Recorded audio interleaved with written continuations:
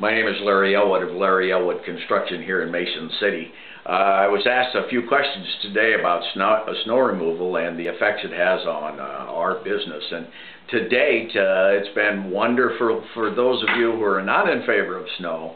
But for us on the service end of it, it, it it's uh, it's been very slow. Um, it's kind of surely made a domino effect not only on the income that our company might make as a service provider, but also what our employees can make um, on, on their paychecks. But we also think about the domino effect of the gas companies, the transmission companies, the parts stores, the batteries and things. So there's a lot of different things that come into effect with no snow from our perspective and in our business. So we um, not our soothsayers trying to say we need snow, but we like to do whatever we can that is profitable, and that typically is a good business.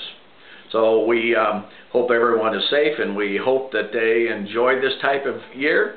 There is a chance that snow might still be coming here. Uh, it is in spring, and spring isn't here until the flowers blossom.